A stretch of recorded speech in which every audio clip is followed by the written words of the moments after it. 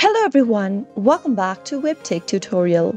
In today's video, I'm going to be guiding you through a quick and simple step on how to log in to Shopify.com account on a web browser. So if you want to do that, it's pretty easy. Simply go ahead and open up a web browser of your choice and in the search box type in shopify.com.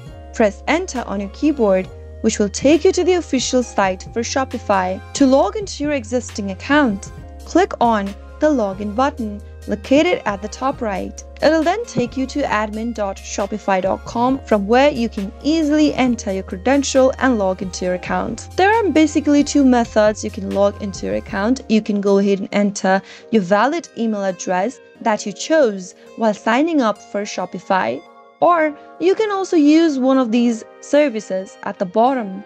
To log in via email, type in your email address in the first text box.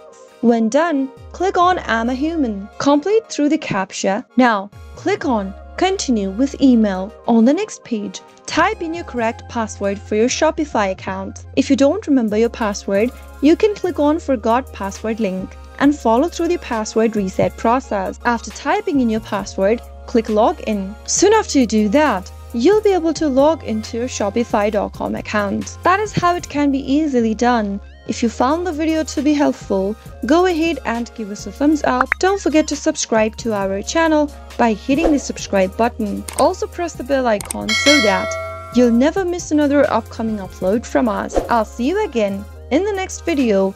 Goodbye till then.